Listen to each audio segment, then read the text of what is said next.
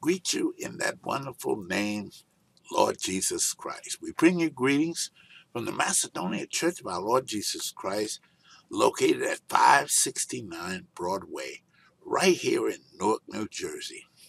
We call ourselves, like many other churches, ch- the church in the heart of the city, with the people of the city in its heart. We often say that we are the church in the community, uh, with the people of the community in its heart.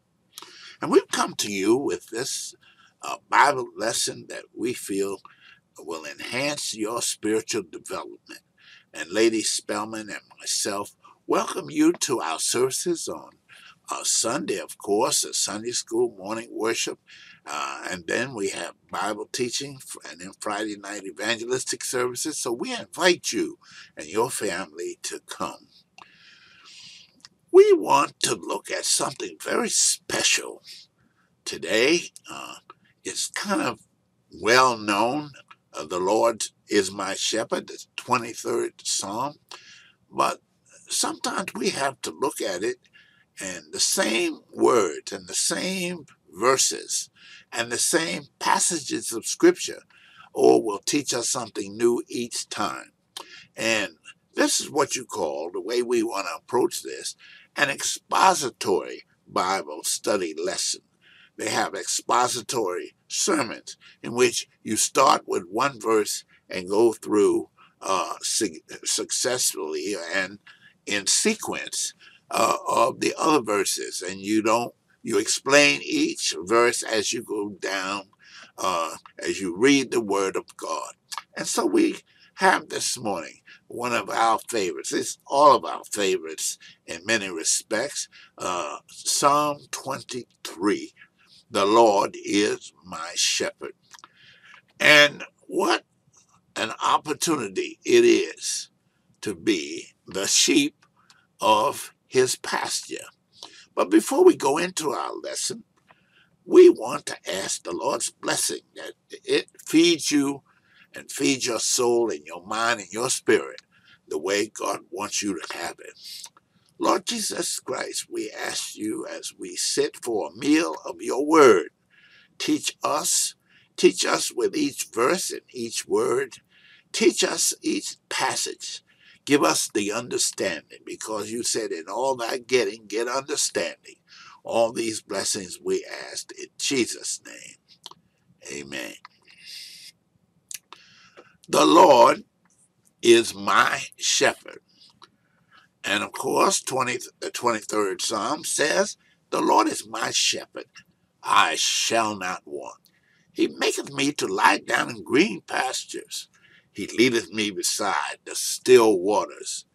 He restoreth my soul. He leadeth me in paths of righteousness for his name's sake. And then it continues, Yea, though I walk through the valley of the shadow of death. It didn't say death, but I will walk through the valley of the shadow of death. I will fear no evil, for thou art with me. Thy rod and thy staff, they comfort me. Thou preparest a a table before me in the presence of my enemies. Thou anointest my head with oil, and my cup runneth over. Surely goodness and mercy, mercy shall follow me all the days of my life, and I will dwell in the house of the Lord forever. Oh, what a feast and a meal! But we want to just look at the first five words, and I hope we're able to show you something that is very unique about the Word of God. They are words, not necessarily sentences or verses that teach us. And we want to look at the first five words of the 23rd Psalm. The Lord is my shepherd. The Lord is my shepherd. And what I want to show you in this expository teaching is how there's a message in each of those uh, parts of a word, the or verse. The Lord is my shepherd. And the scripture tells us in the 100th Psalm, know ye that the Lord, He is our God. It is He that have made us and not we ourselves. So many people talk about how they're self-made, but it is He that has made us and not we ourselves. And you are a beautiful, beautiful piece of machinery, if I can call you that. You're magnificent. You have a mind uh, that uh, can hold millions of pieces of information. You have a thought process. You have a respiratory system. You have a digestive system. You just, in a physiological way, are a masterpiece. But you are also a soul. And a soul, what doth it profit a man to gain the whole world and lose his soul? But the last part says, and we are the sheep of his pasture. The sheep of his pasture. So let us go now into the sanctuary where we will go into depth. Hour. Let us teaching time, that time during the service where we take 10 minutes for a Bible teaching that is so important. Everyone needs a spiritual meal. Our souls are hungry. Our spirits are hungry. And there's nothing like the Word of God. And this morning, we want to look at probably one of the most well-known passages of Scripture to commit to memory than anyone I can think of. We all know the Lord's Prayer. But then coming thereafter is the 23rd Psalm.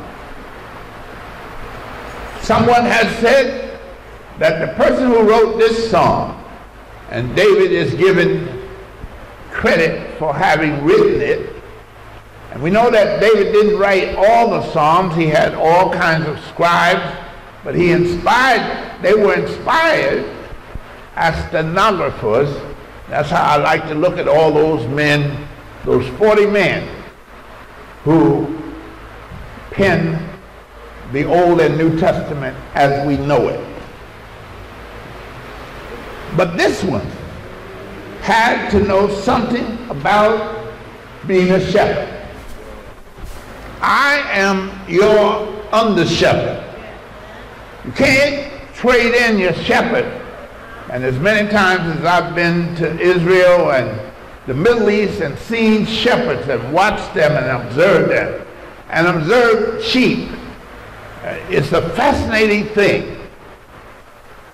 And uh, it's a bit touchy, but I saw one case where they have, and someone who very prominent in this country called somebody a dog, but they have dogs that help the shepherds keep the sheep.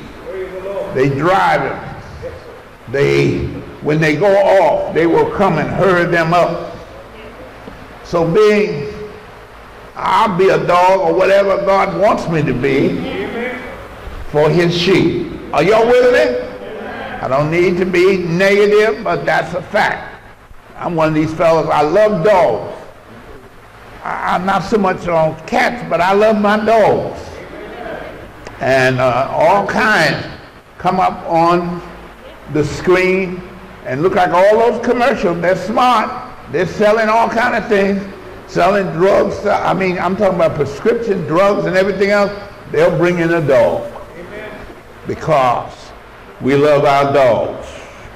I remember when you had the fire, David said, but my dog is all right. that touched my heart. I want to call your attention to the simplicity and power of this passage of scripture. And I won't even cover the whole thing this morning, but I want you to see the significance of gleaning from the word. We must have said, The Lord is my shepherd, I shall not want a hundred thousand times. But I want to take each word and show you where there's a message in each of those five words. The Lord is my shepherd. The Lord is my shepherd. And then you'd see, I shall not want. And this is a very unique passage of scripture because we use the words I, me, and mine. Usually we are teaching you our or in a more plural sense, talking about others. And uh, they told me that a lot of people with man, they are concerned about man. But when it comes to grace, you got to be about others. Are y'all with me? The Lord is my shepherd. Let me do I shall not want first. And then I'm going to take each of those words, starting with the, which you kind of use in a regular sense. The Lord is my shepherd. I shall not want. Uh, that, when we use the word want, means synonymous to need. You have a need to be protected. You have a need to be kept away from evil things. You have a need for food. May not be the food you want, but you have a need for it. You have a need for housing. You have a need for clothes. And when you step out on God, I shall not want. If I need protection, God has it for me. If I need shelter, God has it for me. Whatever I need, and my father used to say, the Lord will never always give you what you want, but he certainly will give you what you need. And if you in his will and in his way, God gonna give you everything you need. He'll never send you out to fight a battle without all that you need to fight against it. And I'm not talking about guns. The scripture says, 10th chapter 2 Corinthians, the weapons of our warfare are not carnal, but are mighty through God. To the pulling down of the stronghold. I'm talking about prayer will break them down. We're going to get a change in government, and it's getting worse every week, but prayer is going to break that chain. So the weapons of our warfare. And I shall not walk. Don't have to worry about all this going on. God. Be not careful or over anxious in anything, Philippians 4 and 6, but with everything with prayer and supplication. Let your request be known unto God. Get it to God. That's your faith. Lord, I'm depending on you. I'm not going to try to do it myself first. Get it to God first. Let your request be known unto God. And then here comes the beauty of it and the peace of God that surpasseth all understanding shall guard your heart and your mind. What more could you want? The peace of God. All right, let's get to our words. The, which you use all the time. But did you know there's only one Lord? The Lord. There's one body, one spirit, even as ye are called one hope of your calling. There's one Lord, the Lord, one faith, one baptism, one God, and Father of all who is above all and through all and in you all. The Lord is the Lord, is my life. And even in, you look at Isaiah in the Old Testament, and you look at Isaiah 9 and 6, For unto us a child is born, for unto us a son is given, and the government shall be upon his shoulders. This is what I like. And they shall call him Wonderful, Counselor. And here comes this one word, the mighty God, the everlasting Father, the Prince of Peace. So we have the. Then Lord is in everything that we do. Are y'all with me? I'm only on the second word. the Lord is my light and my salvation. Whom shall I fear?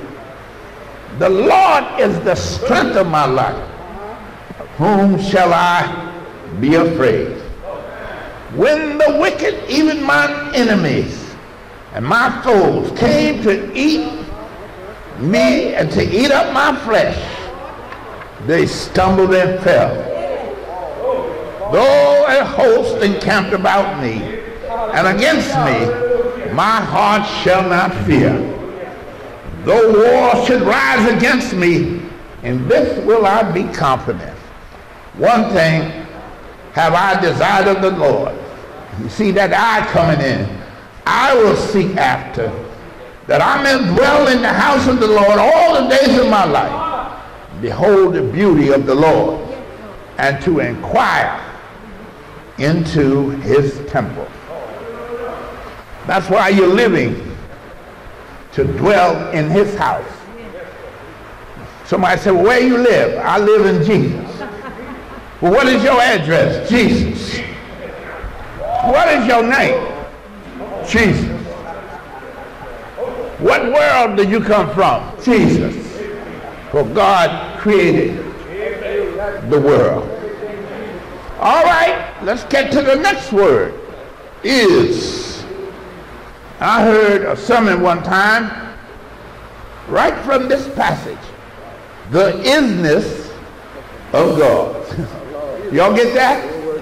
The isness, meaning the current presence of God. The isness of God. Immediate, consistent, continuing is. Your heart is continuing to beat. Your mind is continuing to work. So God is our refuge and strength, and this is what I like, a very present help in the time of trouble. I'm not talking about, yes, he helped you yesterday. Amen. Yes, I know he's going to help us tomorrow. Amen. But I'm talking about today, the very present help in the time of trouble. Therefore will we not, will we not we fear, though the earth be removed, though the mountains be cast to the sea.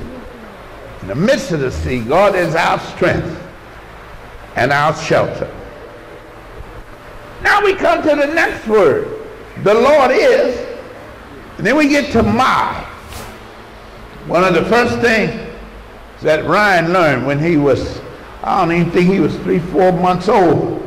But Ryan had a toy and Ryan said, that's mine. mine. and we learned that. That's my suit. That's my car. My, my friend. And that mine is important because everything that God has given you He's giving you a testimony. Uh-huh. Deacon Marcus loved when we talk about testimony because you ought to have a testimony. There's some people used to, when I was growing up, used to memorize their testimony. Same testimony every time. Uh, Lord, bless right now, just go on. The same testimony every time. But that's something that's happening in your life, and I learned that God wants to build a new tes- testimony. And so Sister Bessie Jones, when she con- uh, contracted cancer, and she lived the life of a holy woman and a praying woman and doing all she could, and she went to God and said, why? Why? You know that question, why me? And the Lord said, and came to her and said, that you might have a greater testimony. Are y'all with me? God want to hear more than the same thing you memorize every time. Yes, he saved your soul. Yes, he brought you out of and mire.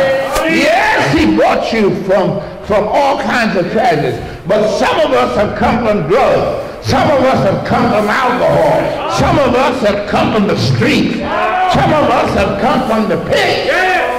Hallelujah. Hallelujah. And so David said, 40th Psalm, second verse, he brought me up also out of a horrible pit and of the miry clay and set my feet on a, upon a rock and established my going. First time you ever move on a rock, the rock moves Amen. when you move. That's a very different kind of situation. Amen. And so here you are, my. All of us need to have our own testimony. You all sing that song, This is my story. This is my song. Praising my Savior all the day long. Hallelujah. So the scripture says we get into that personal and he have put a new song where in my mouth and even praise unto our God many shall see it and fear and trust in the Lord for in the time of trouble he shall hide who? He shall hide me. Yes that me. And now mine head shall be lifted up. So in the 23rd Psalm says, He maketh me to lie down in green pastures. And, and see, a lot of us like to think of, amen, the green pastures being a great big, look like a golf course. Everything is green that you can see. But in Israel, it's not like that. You have pockets of desert. Are you with me? And you have pockets where you don't see any grass for miles around. So the shepherd has to go and lead his flock to where the grass is. Didn't God lead you to some grass? And then told you, you can't keep eating all the time. I know some folks don't believe that. but you can't keep eating and you need to come inside and rest. Jesus said, come inside and rest a while. Hallelujah. Hallelujah. So he maketh me. And some of us got so many activities and doing so many things. Either some folks out there ungodly and ungodly, but then he has to come and strike you and make you lie down in green pastures. Sometimes I don't know about you, but I listen to God. I, all that thundering the other night, I just love to hear. It's like God speaking to me. Then I have God speaking to me and say, Pastor Spellman, you must be off in the head. But when that pain hits your knee and hits your body, sometimes first thing I think about is God. I say, yes, Lord. Hallelujah. Yes, Lord. Yes. Feel that pain. Yes, Lord. I'm going to put you through no matter what. His grace Think about Apostle Paul. I sought thee threat right, three times. I'm preaching, going all these journeys. Amen. Then don't I deserve to be here? The Lord said, my grace is sufficient for thee. In my weakness, hallelujah, I have strength. Hallelujah. Hallelujah. His grace is sufficient for thee. And So he maketh me to lie down. Now get to the last part is the shepherd. Jesus said, I am the good shepherd that giveth his life for his sheep. I don't think you realize it, but when you sign on and you become a shepherd in Israel, if you have 30 in the herd, you're responsible for 30. And if one gets, if one doesn't come up and all, well, I got 99% of them. And that's why in the book uh, when we talk about the lost sheep, the lost coin, and really the lost son, is talking about individual things. That lost sheep, you can't say, well, there's still 99 of us. Let the 100, he find the way the best way he can. But my Bible tells me that shepherd will go out and he will search where he came from till he finds that sheep. That sheep, that sheep or goat or whoever it might be could be you. You don't want somebody writing you off because God never writes you off. I don't care from the beginning of the first breath to the last breath. And then the, Jesus talks about the hireling. So you can't you can't hire someone. They have what is called a sheepfold, and they build it with sticks, and some of them have walls. There's only one entrance into the sheepfold, and the shepherd sleeps in the doorway. The only way in and the only way out is through the doorway.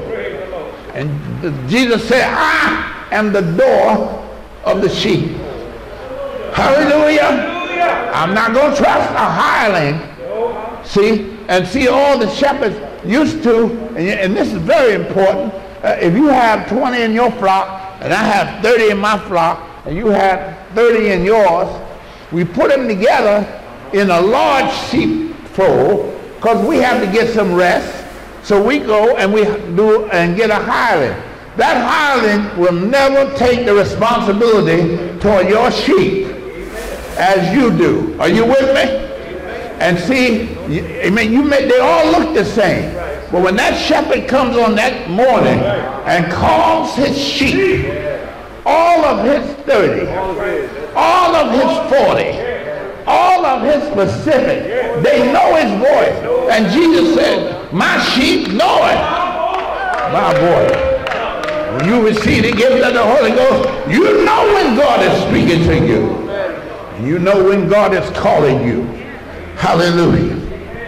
And so let me run through and then we're going to finish up here. He said, I'm the good shepherd. The hireling fleeth because he's a hireling and careth not for the sheep. But I'm the good shepherd and know my sheep and am known of mine. Are y'all with me? Now, a good shepherd bathes his sheep in oil. First he bathes them in water. He doesn't go out and get some ivory soap and all, but the sheep bath is important. And back there when they used to sacrifice the lambs and the sheep, they used to have a bath. And so the pool of Bethesda, where the man who was sick for 38 years that was a pool where they used to wash the sheep before they were brought to the priests in the temple. Are y'all with me? And so they would bathe them. But another thing they would do after they bathed them was put oil on them. Are, are, are you with me? And they would oil them down. Why? Because the insects were so bad. They would get in the sheep's ear and somebody know what I'm talking about here. When a mosquito get in your ear, you don't know what to do. You start banging your head, knocking, and you knock some water over, and you go and see what happens uh, with the sheep. They, they go and they lose it, and they get wild because that, that bug or that uh, insect is driving them mad. And that's what the devil tries to do. Get in your skin. Get under your skin. And that's why you're washed you are baptized in the name, of Lord Jesus Christ, but you're filled with the Holy Ghost. You're oiled up for Christ. And the devil knows who you are. Are y'all with me? And another thing about sheep, unlike a dog or a, a horse, they can whine and get up on their own when they're on their back. But did you know that a sheep, when you put them on their back, they can't get up on their own. They got to wait for the shepherd to come and turn them over. Some of us to realize that one day. You can't get up by yourself. You need God to come. You need the shepherd to come and put you back on your feet. So you can stand and say, I fucking mind. I was in a dirty pit. God took me and turned me around. Hallelujah. Hallelujah. So, the sheep are taken off their backs. He leads his sheep, and the scripture says, He leadeth me beside still waters. And around the Sea of Galilee, when you go around the banks and all, it's kind of rough because the waves come and the sheep are very timid. Are you with me? Yeah. And the least bit of noise, yeah. they're gone. Yeah. I wish I had some folks like that. Yeah, I can just make a little noise and they would go. But noise draws them sometimes. But the noise and the sheep rear back, and you know the sheep need water in order to live. So what the shepherd does is he takes and digs a trench from the Sea of Galilee and he makes a little side pool that's still with waters. And then the sheep can come and be refreshed. Are y'all with me? Don't have to worry about the noise. And that they can refresh. He leaded me beside still waters. Water that I need. Water that I have to have water that the Lord wants me to have. Hallelujah. Hallelujah. He provides a pond for that timid sheep. He sits and he walks above his sheep. Amen. So he can see what's going on. He's not above in the sense, but he, he walks so he can see in the distance. Then he leads them. He leadeth me. He leadeth me. Hallelujah. That's one of the biggest ones. You don't go anywhere without your shepherd. You can't come up to me, I'm not my shepherd, I am be with him today. I'm going to have a vacation. You go wherever your shepherd is. And then when you wander off, that rod, that little cup, looks like a candy cane. On that cane is used to bring you in when you go astray. And he can take that and pull you back. You're going the wrong way. You're getting a little bit too far away. Thy rod and thy staff, they comfort me. Hallelujah. Hallelujah. And the herd keeps one eye on the shepherd and one eye on the grass. And I've seen a case where a man had a whole flock and a car came and he did and walked to the left, the whole herd moved to the left. Then he moved to the right, the whole herd moved back. Amen. And so the sheep they know their shepherd's voice. They know their shepherd not going to lead them into disaster. They know their shepherd not going to lead them into trouble.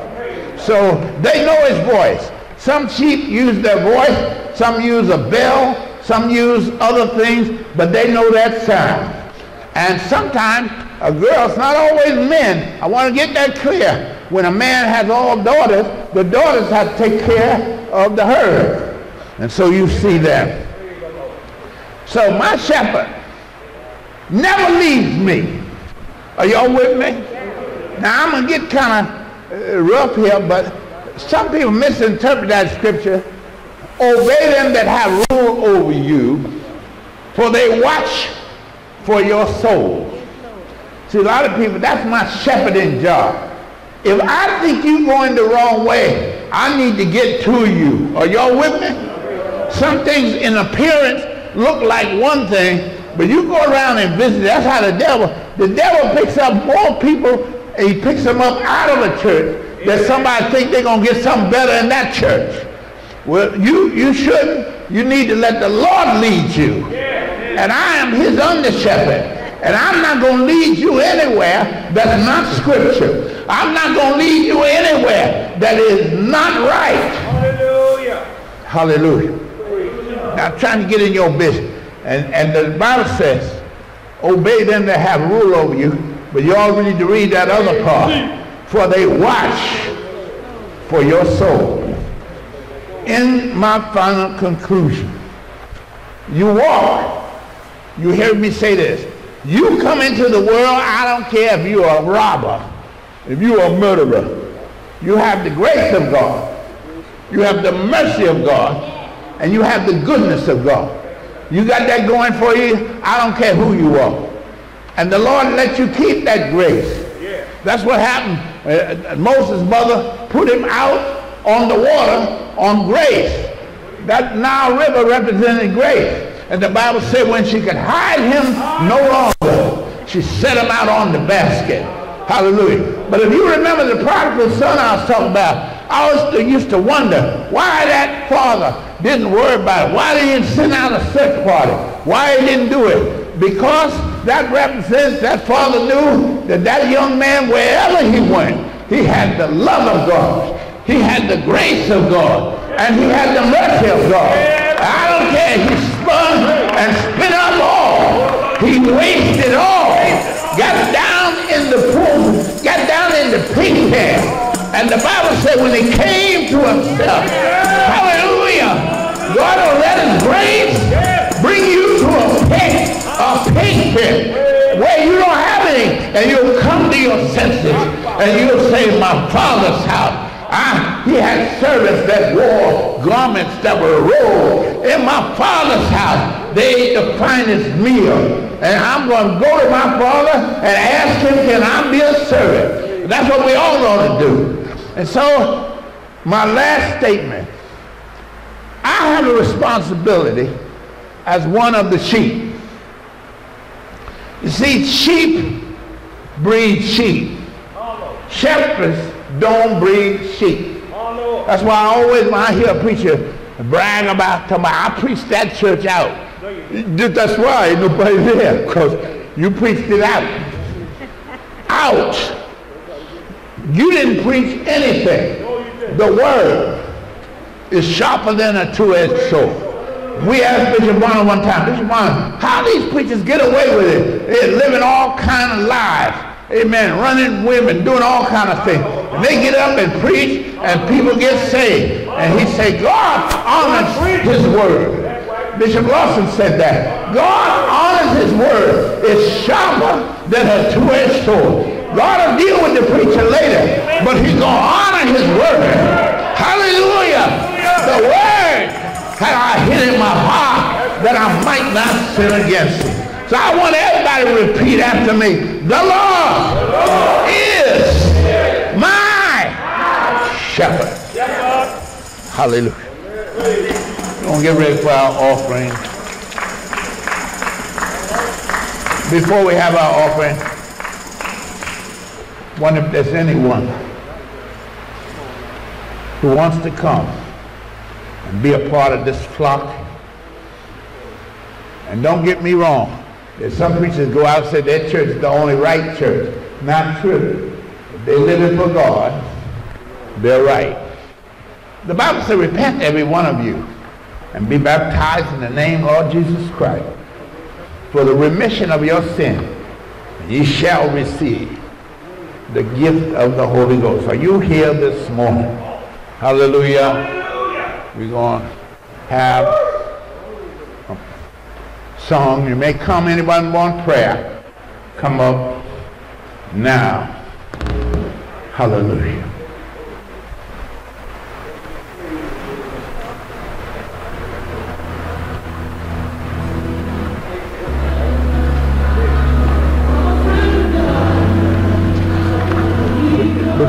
This